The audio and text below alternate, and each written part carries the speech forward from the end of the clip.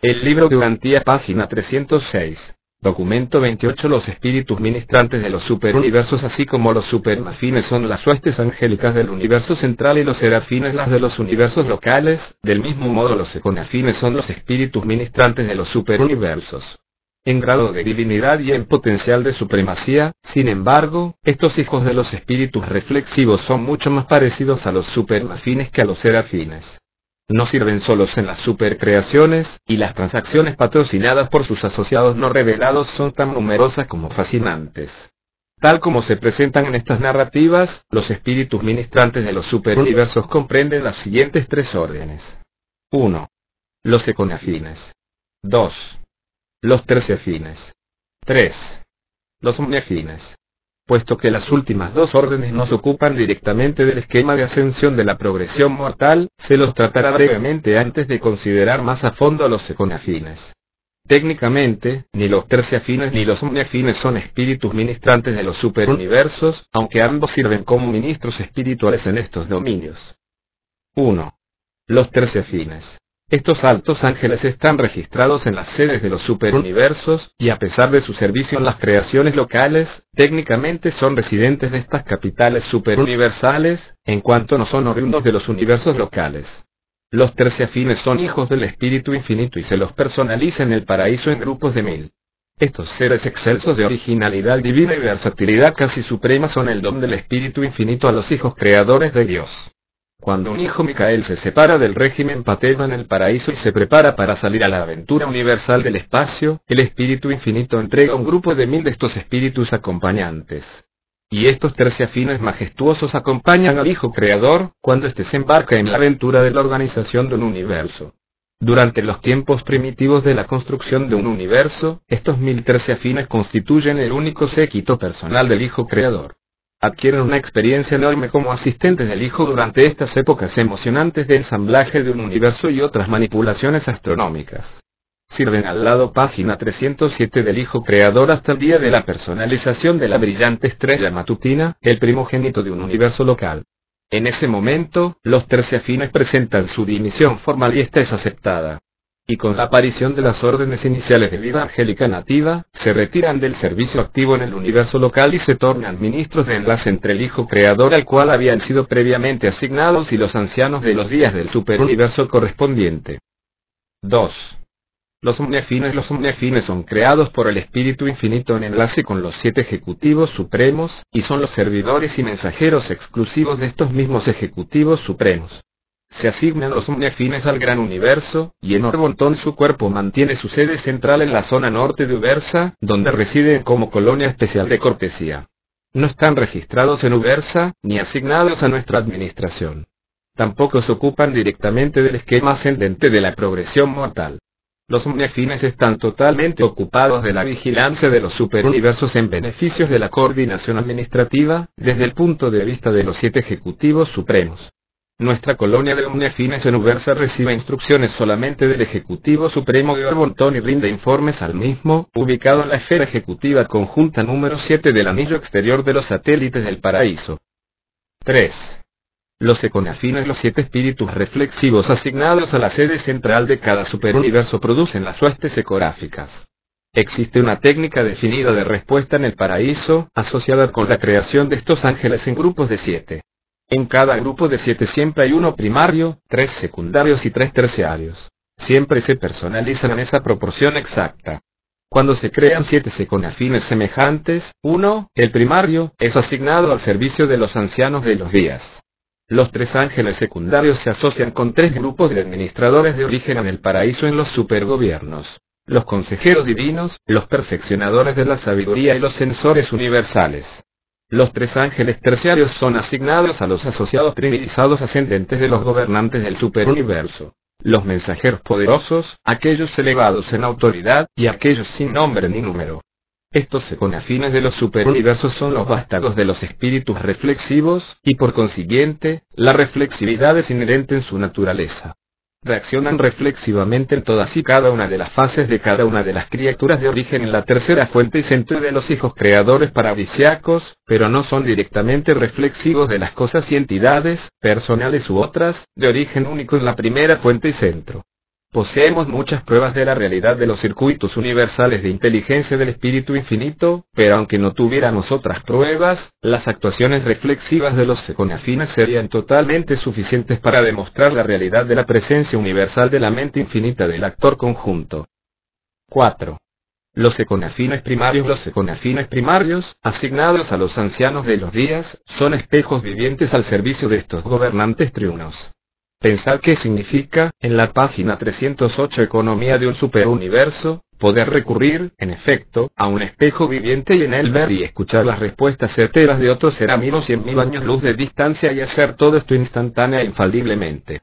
Los registros son esenciales para la conducción de los universos, las emisiones son útiles, el trabajo de los mensajeros solitarios y de otros es muy útil, pero los ancianos de los días, desde su posición a mitad de camino entre los mundos habitados y el paraíso, entre el hombre y Dios, pueden mirar instantáneamente hacia ambos lados, escuchar hacia ambos lados y conocer ambos lados. Esta habilidad, escuchar y ver, por decirlo así, todas las cosas, puede ser perfectamente realizada en los superuniversos solo por los ancianos de los días y solo en sus respectivos mundos sede central. Aún allí hay limitaciones. Desde Ubersa, dicha comunicación se limita a los mundos y universos de Orbotón, y aunque no esté operante entre los superuniversos, esta misma técnica reflexiva mantiene a cada uno de ellos en estrecho contacto con el universo central y con el paraíso. Los siete supergobiernos, aunque individualmente segregados, son de esta manera perfectamente reflexivos de la autoridad de arriba y totalmente comprensivos, así como también conocedores, de las necesidades de abajo. Los econafines primarios parecen inclinarse por naturaleza inherente hacia siete tipos de servicio, y es conveniente que las primeras series de esta orden tengan dotes que les permitan interpretar inherentemente la mente del espíritu para los ancianos de los días. 1. La voz del actor conjunto. En cada superuniverso, el primer seconafín primario y cada séptimo de esa orden posteriormente creado exhiben un alto grado de adaptabilidad para comprender e interpretar la mente del espíritu infinito para los ancianos de los días y sus asociados en los supergobiernos. Esto es de gran valor en las sedes de los superuniversos porque, a diferencia de las creaciones locales con sus ministras divinas, el asiento de un supergobierno no cuenta con una personalización especializada del espíritu infinito. Por lo tanto, estas voces ecográficas son las que más se aproximan a ser representantes personales de la tercera fuente y centro en tales esferas capitales. Es verdad que los siete espíritus reflexivos se encuentran allí, pero estas madres de las huestes ecográficas son menos exactas y automáticamente reflexivas del actor conjunto que de los siete espíritus reactores. 2. La voz de los siete espíritus reactores. El segundo seconafín primario y cada séptimo creado después de este se inclinan a describir las naturalezas y reacciones colectivas de los siete espíritus reactores. Aunque cada espíritu rector ya está representado en la capital de un superuniverso por uno de los siete espíritus reflexivos de asignación, dicha representación es individual, no colectiva. Colectivamente, están presentes tan solo reflexivamente. Por lo tanto, los espíritus reactores aprecian el servicio de estos ángeles altamente personales, la segunda serie de los econafines primarios, que son tan competentes para representarlos frente a los ancianos de los días. 3. La voz de los hijos creadores. El espíritu infinito ha de tener algo que ver con la creación o la capacitación de los hijos paradisiacos de la orden de Micael, porque el tercer seconafín primario y cada séptimo seriado de allí en adelante posee el don notable de ser reflexivo de la mente de estos hijos creadores. Si los ancianos de los días quisieran saber, realmente saber, la actitud de Micael de Nevadón respecto de algún asunto bajo consideración, no necesitan llamarlo a través de las líneas del espacio. Tan solo necesitan llamar al jefe de las voces de Nevadón, quien, página 309, si se le solicita, presentará al Seconafín Micael de registro. Y allí mismo en ese momento, los ancianos de los días percibirán la voz del hijo mayor de Nevadón. Ninguna otra orden de filiación es reflexible de esta manera, y ninguna otra orden de ángeles puede funcionar de esta manera. No comprendemos plenamente de qué manera se realiza esto, y dudo mucho de que los hijos creadores lo comprendan plenamente. Pero con seguridad sabemos que funciona, y que infaliblemente funciona aceptablemente también lo sabemos, porque en toda la historia de Ubersa, las voces ecográficas no han errado jamás en sus presentaciones. Aquí estáis comenzando a ver algo de la manera en la cual la divinidad comprende el espacio del tiempo y domina el tiempo del espacio. Aquí estáis comenzando a echar uno de los primeros vistazos pasajeros a la técnica del ciclo de la eternidad, divergente por el momento, para asistir a los hijos del tiempo en sus esfuerzos por superar las arduas dificultades del espacio. Y estos fenómenos son adicionales a la técnica universal establecida de los espíritus reflexivos aunque aparentemente privados de la presencia personal de los espíritus reactores de arriba y de los hijos creadores de abajo, los ancianos de los días tienen a su disposición seres vivientes sintonizados a los mecanismos cósmicos de la perfección reflexiva y de la precisión última, gracias a los cuales pueden disfrutar de la presencia reflexiva de todos aquellos seres excelsos cuya presencia personal se les niega por medio y a través de estos mecanismos, y de otros que vosotros desconocéis, Dios está potencialmente presente en las sedes de los superuniversos. Los ancianos de los días deducen perfectamente la voluntad del Padre mediante el paralelismo de la transmisión de la voz del Espíritu desde arriba y de la transmisión de la voz de Micael desde abajo. De esta manera, pueden estar infaliblemente seguros al sopesar la voluntad del Padre sobre los asuntos administrativos de los universos locales. Pero para deducir la voluntad de uno de los dioses del conocimiento de los otros dos, los tres ancianos de los días deben actuar juntos. Dos no serían capaces de llegar a la respuesta. Por esta razón, aunque si no hubiesen otras, tres ancianos de los días siempre presiden los superuniversos, y no uno ni siquiera por dos. 4. La voz de las huestes angélicas. El cuarto seconafín primario y cada séptimo seriado son ángeles peculiarmente sensibles a los sentimientos de todas las órdenes de los ángeles, incluyendo a los supermafines de arriba y a los serafines de abajo. Así, la actitud de cualquier ángel de mando o de supervisión está inmediatamente disponible para la consideración de cualquier concilio de los ancianos de los días. No pasa un día en vuestro mundo, en que el jefe de los serafines en Urantia no tenga conciencia del fenómeno de la transferencia reflexiva, de ser atraído desde Ubersa para algún propósito. Pero a menos que, algún mensajero solitario se lo advierta por adelantado, permanece totalmente ignorante de lo que se busque y de cómo se obtiene. Estos espíritus ministrantes del tiempo proveen constantemente este tipo de testimonio inconsciente y ciertamente, por lo tanto, libre de prejuicios sobre la colección interminable de asuntos que llaman la atención y requieren las deliberaciones de los ancianos de los días y de sus asociados. 5. Los receptores de emisiones. Existe una clase especial de mensajes emitidos que tan solo es recibida por estos seconafines primarios aunque no son ellos los emisores regulares de funcionan en enlace con los ángeles de las voces reflexivas para el fin de sincronizar la visión reflexiva de los ancianos de los días con ciertos mensajes auténticos que provienen de los circuitos establecidos de la comunicación universal. Los receptores de emisiones son de la quinta serie, el quinto seconafín creado y cada séptimo después de él. Página 310, 6. Las personalidades de transporte. Estos son los seconafines que llevan a los peregrinos del tiempo de los mundos sede central de los superuniversos al círculo exterior de Argona. Son el cuerpo de transporte de los superuniversos, operan hacia adentro hasta el paraíso, y hacia afuera los mundos de sus respectivos sectores.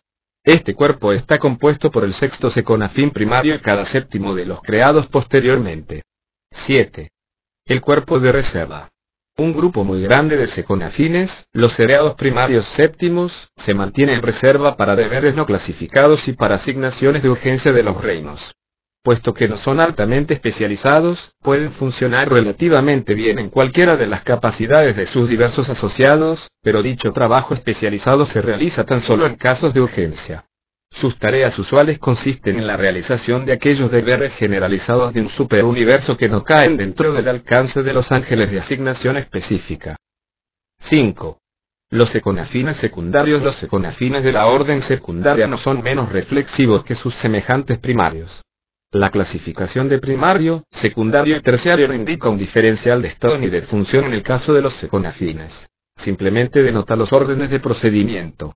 Los tres grupos exhiben cualidades idénticas en sus actividades.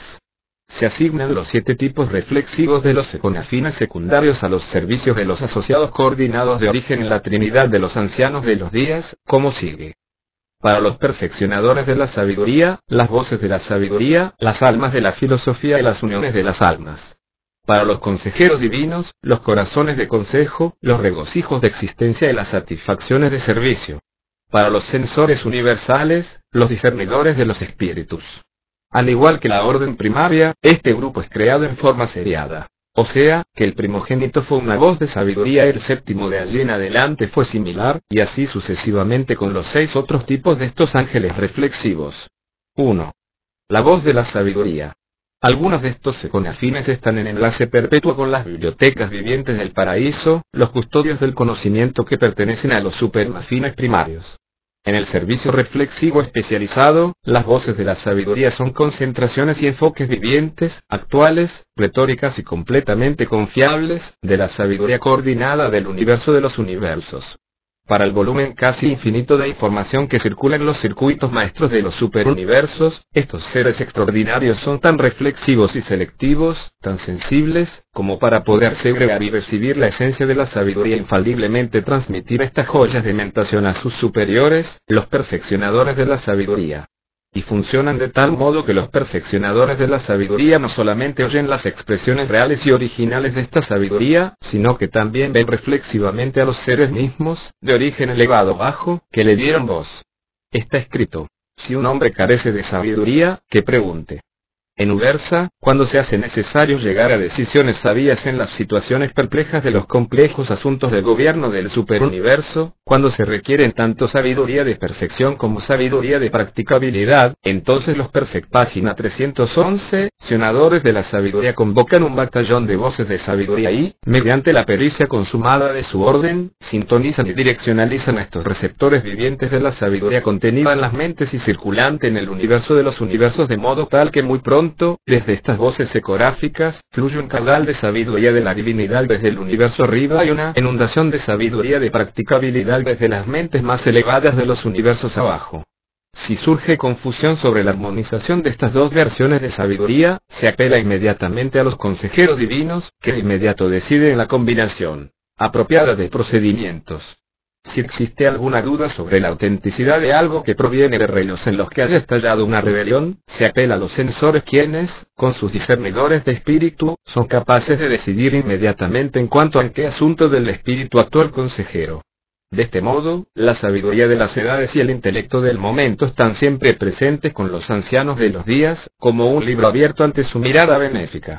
Vosotros apenas si podéis comprender lo que todo esto significa para aquellos que son responsables de la conducta de los gobiernos superuniversales. La inmensidad y amplitud de estas transacciones están totalmente más allá de la concepción finita. Cuando os encontréis, como yo repetidamente me he encontrado, en las cámaras especiales de recepción del Templo de la Sabiduría Universa y veáis todo esto en operación actual, seréis impulsados a la adoración por la perfección de la complejidad, y por la seguridad del funcionamiento de las comunicaciones interplanetarias de los universos. Homenajearéis a la sabiduría divina y a la bondad de los dioses, que planean y ejecutan con técnica tan extraordinaria. Estas cosas realmente suceden tal como yo las he descrito. 2. El alma de la filosofía. Estos maravillosos maestros también se asignan a los perfeccionadores de la sabiduría y, cuando no están dirigidos de otra manera, permanecen en sincronía focal con los maestros de la filosofía en el paraíso. Piensa en acercarte a un enorme espejo viviente, en efecto, pero en vez de contemplar la imagen de tu yo material y finito, de percibir un reflejo de la sabiduría de la divinidad y de la filosofía del paraíso. Mas si se hace deseable encarnar esta filosofía de perfección, para diluirla y hacerla de este modo práctica para su aplicación y asimilación por parte de los pueblos humildes de los mundos bajos, estos espejos vivientes tan solo necesitan dar vuelta el rostro hacia abajo, para reflejar las normas y necesidades de otro mundo universo. Por estas mismas técnicas, los perfeccionadores de la sabiduría adaptan decisiones y recomendaciones a las necesidades reales y al estado auténtico de los pueblos y mundos bajo consideración, y siempre actúan de acuerdo con los consejeros divinos y los sensores universales. Pero la plenitud sublime de estas transacciones está más allá aún de mi capacidad de comprensión. 3. La unión de las almas. Completando el personal triuno asignado a los perfeccionadores de la sabiduría, están estos reflectores de los ideales y esto de las relaciones éticas. De todos los problemas en el universo que requieren el ejercicio de una sabiduría consumada de experiencia y adaptabilidad, ninguno es más importante que los que surgen de las relaciones y asociaciones de los seres inteligentes. Sea en las asociaciones humanas de comercio y negocios, de amistad y matrimonio, o en los enlaces de las huestes angélicas, siempre surgen fricciones mezquinas, malentendidos menores, demasiado triviales como para llamar la atención de los conciliadores, pero suficientemente irritantes y perturbadores como para estorbar el mecanismo normal del universo, si se permite que se multipliquen. Página 312 continúen. Por lo tanto, los perfeccionadores de la sabiduría ponen a disposición la experiencia sabia de su orden como el aceite de la reconciliación de un entero superuniverso. En todo este trabajo, estos hombres sabios de los superuniversos están secundados hábilmente por sus asociados reflexivos, las uniones de las almas, que ponen a disposición la información actual relativa al estado del universo y al mismo tiempo describen el ideal paradisiaco, para el mejor ajuste de estos problemas que producen perplejidad. Cuando no están dirigidos específicamente a otro lugar, estos seconafines permanecen en enlace reflexivo con los intérpretes de la ética en el paraíso. Estos son los ángeles que fomentan y promueven el trabajo en equipo de todo el montón. Una de las lecciones más importantes que debéis aprender durante vuestra carrera mortal consiste en trabajar en equipo. Las esferas de perfección tienen un personal que proviene de los que han dominado este arte de trabajar con otros seres. En el universo pocos son los deberes para el servidor solitario. Cuanto más alto ascendáis, más solitarios estaréis al encontraros temporalmente sin asociación con vuestros semejantes. 4. El corazón de consejo. Este es el primer grupo de estos genios reflexivos colocado bajo la supervisión de los consejeros divinos. Los econafines de este tipo están en posesión de los hechos del espacio, siendo selectivos para estos datos en los circuitos del tiempo. Especialmente son reflexivos de los coordinadores superáficos de información, pero también son selectivamente reflexivos del parecer de todos los seres, tanto de estado alto como de estado bajo. Toda vez que los consejeros divinos son convocados para concilios o decisiones importantes, solicitan inmediatamente un conjunto de corazones de consejo, y luego la decisión emitida incorpora efectivamente la sabiduría y el consejo coordinados de las mentes más competentes del entero superuniverso, todo lo cual ha sido censurado y revisado a la luz del parecer de las mentes elevadas de Agome y aún del paraíso. 5. El regocijo de la existencia. Por naturaleza estos seres están reflexivamente sincronizados con los supervisores superáficos de la armonía arriba y con ciertos serafines abajo, pero es difícil explicar qué es precisamente lo que hacen en realidad los miembros de este interesante grupo. Sus actividades principales están dirigidas a promover reacciones de regocijo entre las varias órdenes de las huestes angelicales y de las criaturas volitivas inferiores. Los consejeros divinos, a quienes están agregados, pocas veces los utilizan específicamente para detectar regocijo. En una forma más general y en colaboración con los directores de reversión, funcionan como conmutadores de regocijo, intentando aumentar las reacciones de placer de los reinos y mejorar el gusto por el humor, para desarrollar entre mortales y ángeles un superhumor. Intentan demostrar que existe un regocijo inherente en una existencia con libre albedrío, independientemente de toda influencia externa. Y tienen, razón, aunque encuentran grandes dificultades para inculcar esta verdad en la mente de los hombres primitivos.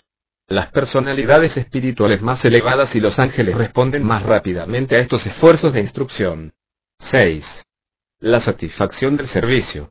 Estos ángeles son altamente reflexivos de la actitud de los directores de conducta en el paraíso y funcionan en forma muy semejante a los regocijos de existencia, intentando enaltecer el valor del servicio y aumentar las satisfacciones que de él se puede derivar. Mucho han hecho para iluminar las recompensas pospuestas inherentes en el servicio altruista, servicio para la ampliación del reino de la verdad. Los consejeros divinos, a quienes está agregada esta orden, los utilizan para reflejar de un mundo a otro los beneficios que se pueden extraer del servicio página 303 espiritual.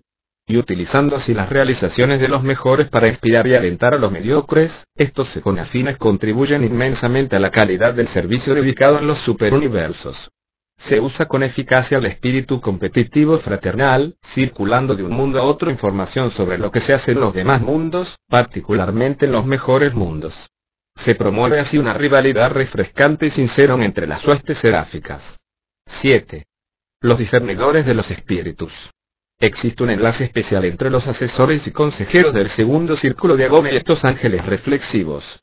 Son los únicos afines agregados a los sensores universales, pero probablemente son más singularmente especializados entre todos sus semejantes. sea cual fuere la fuente o canal de la información, aunque las pruebas disponibles sean muy escasas, cuando se las somete a su escrutinio reflexivo, estos discernidores inmediatamente nos informarán sobre el verdadero motivo, el propósito real y la auténtica naturaleza de su origen. Me maravillo del funcionamiento extraordinario de estos ángeles, que tan infaliblemente reflejan el carácter moral y espiritual auténtico de cualquier individuo puesto bajo su exposición focal. Los discernidores de los espíritus llevan a cabo estos intrincados servicios por virtud de discernimiento espiritual inherente, si es que puedo usar dichas palabras en un intento para hacer comprender a la mente humana el pensamiento de que estos ángeles reflexivos funcionan así intuitivamente, inherentemente e infaliblemente. Cuando los sensores universales contemplan estas presentaciones, están frente a frente con el alma desnuda del individuo reflejado. Esta misma certidumbre y perfección de retrato explica en parte por qué los sensores pueden funcionar siempre como jueces tan justos y rectos. Los discernidores siempre acompañan a los sensores en cualquier misión alejada de Ubersa, y son igualmente eficaces en los universos como lo son en su sede de Ubersa. Os aseguro que todas estas transacciones del mundo espiritual son reales, que tienen lugar de acuerdo con las costumbres establecidas y en armonía con las leyes inmutables de los dominios universales. Los seres de cada nueva orden creada, inmediatamente después de recibir el aliento de vida, son reflejados instantáneamente en las alturas. Se emite un retrato viviente de la naturaleza y potencial de la criatura, la sede central del superuniverso. De esta manera, por medio de los discernidores, los sensores entran en conocimiento pleno de exactamente qué tipo de espíritu ha nacido en los mundos del espacio. Esto ocurre con el hombre mortal. El Espíritu materno de Salvilto nos conoce plenamente, porque el Espíritu Santo en vuestro mundo investiga todas las cosas y todo cuanto sepa el Espíritu de vosotros está inmediatamente disponible a los discernidores ecoráficos, quienes reflejan con el Espíritu, lo que se refiere al conocimiento que tiene de vosotros. Sin embargo, debemos mencionar que el conocimiento y planes de los fragmentos del Padre no son reflejables. Los discernidores pueden reflejar, y lo hacen, la presencia de los ajustadores, y los sensores los declaran divinos, pero no pueden descifrar el contenido de la mente de los monitores misteriosos. 6. Los econafines terciarios del mismo modo que sus semejantes, se crean estos ángeles en forma seriada y en siete tipos reflexivos, pero no se asignan estos tipos individualmente a los servicios separados de los administradores de los superuniversos. Todos los econafines terciarios son asignados colectivamente a los hijos trinizados del ogro, y estos hijos ascendentes los utilizan en forma intercambiable. O sea, los mensajeros poderosos página 314 pueden utilizar a cualquiera de los tipos terciarios, y así lo hacen, y también lo hacen sus coordinados, aquellos elevados en autoridad y aquellos sin nombre ni número. Estos siete tipos de seconafines terciarios son 1. El significado de los orígenes. Los hijos trinizados ascendentes de un gobierno superuniversal tienen a su cargo la responsabilidad de tratar con todos los asuntos que surgen del origen de todo individuo, raza mundo. Y el significado del origen es la cuestión fundamental en todos nuestros planes para el avance cósmico de las criaturas vivientes del reino. Todas las relaciones y la aplicación de la ética surgen de los hechos fundamentales del origen. El origen es la base de la reacción relacional de los dioses. Siempre el actor conjunto toma nota del hombre, en qué forma nació. En el caso de los seres descendentes más elevados, el origen es simplemente un hecho que debe de cerciorarse. Pero con los seres ascendentes, incluyendo las órdenes inferiores de los ángeles, la naturaleza y circunstancias del origen no son siempre tan claras, aunque son de importancia vital, prácticamente para cada vuelta de los asuntos universales, de allí el valor de tener a nuestra disposición a una serie de seconafines reflexivos que pueden ilustrar instantáneamente todo lo necesario respecto del génesis de cualquier ser, tanto en el universo central como en el entero reino de un superuniverso. Los significados de los orígenes son genealogías vivientes de referencia inmediata de las huestes enormes de seres, hombres, ángeles y otros, que habitan los siete superuniversos. Están siempre listos para proporcionar a sus superiores un cálculo actualizado, retórico y confiable de los factores ancestrales y del estado presente de cualquier individuo en cualquier mundo de sus respectivos superuniversos. Y su cómputo de los hechos conocidos está siempre al minuto. 2. La memoria de la misericordia. Estos son los registros reales, plenos y pletóricos, y vivientes, de la misericordia que ha sido extendida a individuos y razas por las administraciones tiernas de las instrumentalidades del Espíritu Infinito, en la misión de adaptar la justicia de la rectitud al estado de los reinos, tal como se revela en descripciones del significado de los orígenes. La memoria de la misericordia revela la deuda moral de los hijos de la misericordia, sus deudas espirituales, que deben ser asentadas contra los bienes de la disposición salvadora establecida por los hijos de Dios. Al revelar la misericordia preexistente del Padre, los hijos de Dios establecen el crédito necesario para asegurar la sobrevivencia de todos. Luego, de acuerdo con los hallazgos de los significados de orígenes, se establece un crédito de misericordia para la sobrevivencia de cada criatura racional, un crédito de proporciones generosas y de gracia suficiente como para asegurar la sobrevivencia de toda alma que realmente desee la ciudadanía divina. La memoria de la misericordia es una hoja de balance viviente, una declaración actualizada de vuestra cuenta con las fuerzas sobrenaturales de los reinos. Estos son los registros vivientes de la administración de la misericordia que se leen en el testimonio de las Cortes de Ubersa cuando se juzga el derecho de cada individuo a una vida sin fin, cuando se elevan los tronos y los ancianos de los días se sientan. Las emisiones de Ubersa se presentan ante ellos. Miles y miles ministran a ellos, y diez mil veces diez mil están frente a ellos. El juicio se establece, los libros fueron abiertos. Los libros que son abiertos en tal ocasión pletórica son los registros vivientes de los econafines terciarios de los superuniversos.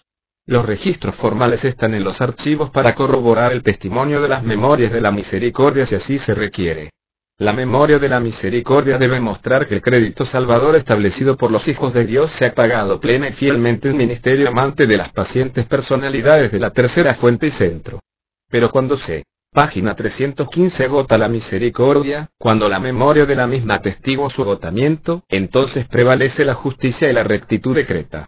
Puesto que la misericordia no ha de ser volcada sobre aquellos que la desprecian, la misericordia no es un don que puede ser pisoteado por los rebeldes persistentes del tiempo. Sin embargo, aunque la misericordia sea así de preciosa y tan amorosamente otorgada, tu crédito individual está siempre muy en exceso de tu habilidad para agotar la reserva si eres sincero en tu propósito y honesto en tu corazón. Los reflectores de la misericordia, con sus asociados terciarios, se ocupan de numerosos ministerios superuniversales, incluyendo la enseñanza a las criaturas ascendentes. Entre muchas otras cosas, los significados de orígenes enseñan a estos ascendentes cómo aplicar la ética espiritual, y después de dicha capacitación, los memorias de la misericordia les enseñan cómo ser verdaderamente misericordiosos. Aunque las técnicas espirituales del Ministerio de la Misericordia están más allá de tu concepción, aún ahora deberías comprender que la misericordia es una calidad de crecimiento. Deberías darte cuenta de que hay una gran recompensa de satisfacción personal en ser primero justo, luego recto, a continuación paciente y finalmente comprensivo. Y luego, sobre esa base, si así lo eliges y la encuentras en tu corazón, podrás tomar el paso próximo y mostrar verdaderamente misericordia. Pero no podrás exhibir misericordia por sí misma. Hay que dar estos pasos. De otro modo no puede haber misericordia genuina. Podrá haber patronaje, condescendencia, o caridad, aún lástima, pero no misericordia. La verdadera misericordia viene solo de la cúspide hermosa de estos adjuntos precedentes a la comprensión del grupo, la apreciación mutua, el compañerismo fraternal, la comunión espiritual y la armonía divina. 3. La importancia del tiempo. El tiempo es la gota universal de todas las criaturas volitivas. Es el talento confiado a todos los seres inteligentes. Todos vosotros tenéis tiempo para asegurar vuestra sobrevivencia. El tiempo se desperdicia fatalmente solo cuando se lo entierra en la negligencia, cuando no lo utilizáis para aseguraros de la sobrevivencia de vuestro alma. El fracaso en mejorar el propio tiempo hasta el grado más alto posible no impone castigos fatales. Meramente retarda al peregrino del tiempo en su viaje de ascensión. Si se gana la sobrevivencia, todas las demás pérdidas pueden ser reencontradas. En la asignación de responsabilidades el consejo de los importancia del tiempo es invaluable. El tiempo es un factor vital en todo de este lado de Agome y del paraíso. En el juicio final ante los ancianos de los días, el tiempo es un elemento de prueba. Los importancia del tiempo deben siempre proporcionar testimonio para mostrar que cada individuo ha tenido amplio tiempo para hacer decisiones, alcanzar una elección. Estos evaluadores del tiempo también son el secreto de la profecía describen el elemento del tiempo necesario para completar cualquier empresa, y son tan confiables como indicadores como lo son los frandalanques y los cronoldeques de otras órdenes vivientes. Los dioses ven el futuro, por lo tanto, lo conocen por adelantado. Pero las autoridades ascendentes de los universos del tiempo deben consultar a los importancia del tiempo para poder pronosticar los acontecimientos del futuro. Encontraréis a estos seres por primera vez en los mundos de estancia. Y allí os instruirán sobre el uso ventajoso de aquello que vosotros llamáis tiempo, tanto en su empleo positivo, trabajo, como en su utilización negativa, reposo. Ambos usos del tiempo son importantes. 4. La solemnidad de la confianza. La confianza es la prueba crucial de las criaturas volitivas.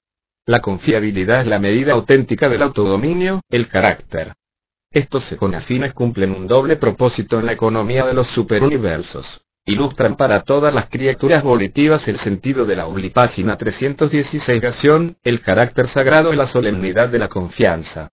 Al mismo tiempo, reflejan infaliblemente para las autoridades gobernantes la confiabilidad exacta de todo candidato para confianza o responsabilidad. En Urantía, vosotros intentáis en forma grotesca leer el carácter y estimar las habilidades específicas. Pero en Ubers hacemos estas cosas en perfección. Estos seconafines pesan la confiabilidad en las balanzas vivientes de la evaluación infalible del carácter, y una vez que os han mirado, tan solo tenemos que mirarlos a ellos para conocer las limitaciones de tu habilidad para cumplir con una responsabilidad, llevar a cabo un encargo, y ejecutar las misiones. Tus activos de confiabilidad se establecen claramente junto con tus pasivos de fallo posible presión. Es el plan de tus superiores avanzarte mediante responsabilidades cada vez mayores tan rápido como se vaya desarrollando suficientemente tu carácter como para soportar con gracia estas responsabilidades agregadas, pero sobrecargar al individuo trae únicamente el desastre y asegura la desilusión. Y el error de colocar responsabilidad prematuramente sobre el hombre o el ángel se puede evitar utilizando el ministerio de estos estimadores infalibles de la capacidad de confianza de los individuos espacio-temporales. Estos seconafines acompañan siempre a aquellos elevados en autoridad, y estos ejecutivos no hacen nunca asignaciones hasta tanto haber sopesado a los candidatos en las hojas de balance secográficas y haberlos declarado sin faltas. 5. La santidad del servicio. El privilegio del servicio inmediatamente sigue al descubrimiento de la confiabilidad. Nada os separa de la oportunidad de mayor servicio excepto tu propia falta de confiabilidad, tu falta de capacidad para la apreciación de la solemnidad de la responsabilidad. El servicio, el servicio con fin determinado, no la esclavitud, produce la satisfacción más alta y es expresión de la dignidad más divina. El servicio, más servicio, servicio aumentado, servicio difícil, servicio venturoso, y por fin servicio divino y perfecto, es la meta del tiempo y el destino del espacio pero por siempre los ciclos de recreación del tiempo alternarán con los ciclos de servicio del progreso. Y después del servicio del tiempo sigue el superservicio de la eternidad. Durante la recreación temporal debes visualizar el trabajo de la eternidad, así como, durante el servicio de la eternidad, recordarás el recreo del tiempo. La economía universal se funda en ingreso y salida. Durante toda la carrera eterna no encontraréis jamás la monotonía de la inacción o el estancamiento de la personalidad. El progreso está posibilitado por el movimiento inherente, el avance crece de la capacidad divina para la acción, y el logro es el hijo de la aventura imaginativa. Pero inherente en esta capacidad para logro está la responsabilidad de la ética, la necesidad de reconocer que el mundo y el universo están llenos de una multitud de tipos diferentes de seres. Toda esta magnífica creación, incluyéndote a ti mismo, no se hizo solo para ti. Este no es un universo egocéntrico. Los dioses han decretado, es más noble dar que recibir, y dijo vuestro Hijo soberano, el que sea más grande entre vosotros, que sea el servidor de todos. La verdadera naturaleza de todo servicio, sea este cumplido por el hombre o por el ángel, se revela plenamente en los rostros de estos ecográficos indicadores de servicio, las santidades de servicio. El análisis pleno de los motivos verdaderos y ocultos se muestra claramente.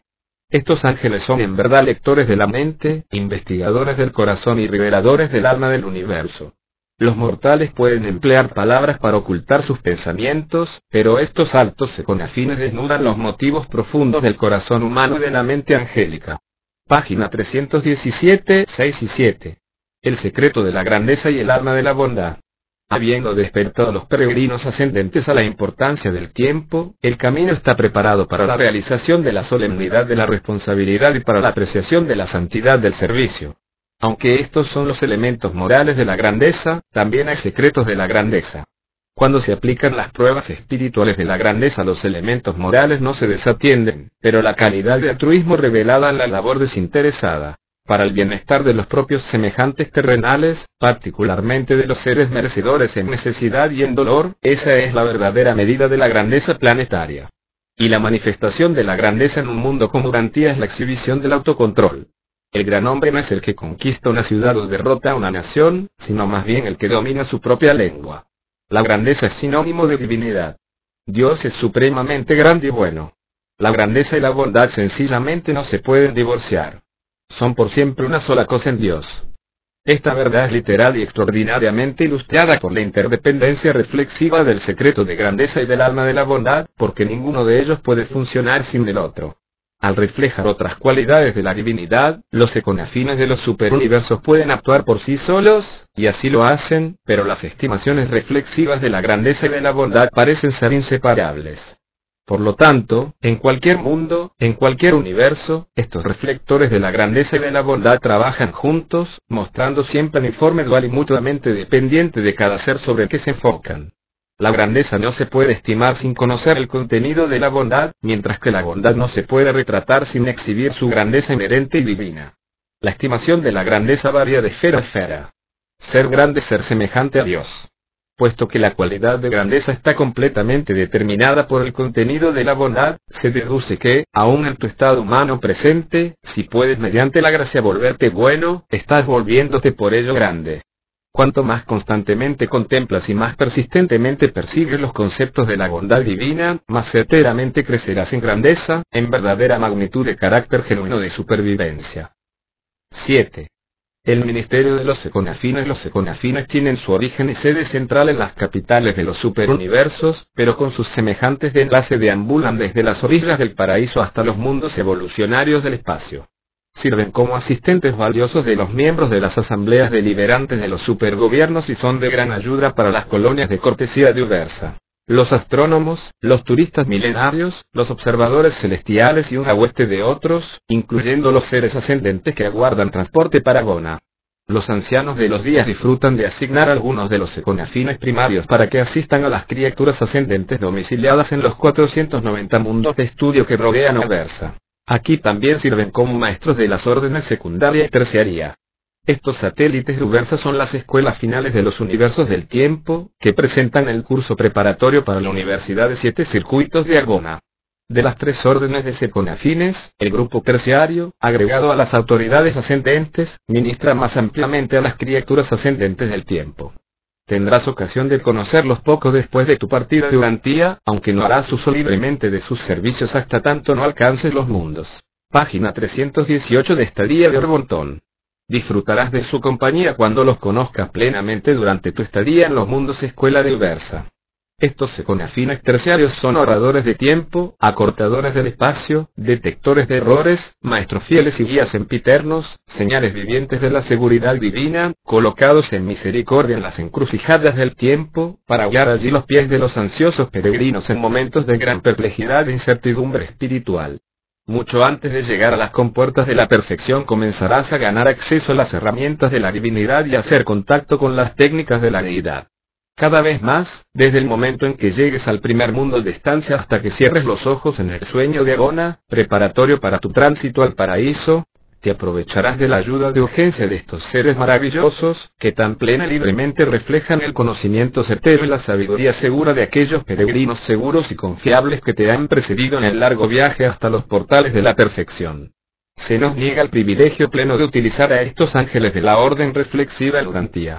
Son visitantes frecuentes en vuestro mundo, puesto que acompañan a las personalidades de asignación, pero aquí no pueden funcionar libremente. Esta esfera está aún bajo una cuarentena espiritual parcial, y algunos de los circuitos esenciales para su servicio no funcionan en el presente. Cuando vuestro mundo sea nuevamente restaurado a los circuitos reflexivos respectivos, mucho del trabajo de comunicación interplanetaria e interuniversal será grandemente simplificado y acelerado. Los trabajadores celestiales en Urantía encuentran muchas dificultades debido a esta escasez funcional de sus asociados reflexivos. Pero seguimos conduciendo alegremente nuestros asuntos con las instrumentalidades disponibles, a pesar de que se nos ha privado localmente de muchos de los servicios de estos seres maravillosos, los espejos vivientes del espacio y los proyectores de presencia del tiempo. Patrocinado por un mensajero poderoso de Ubersa.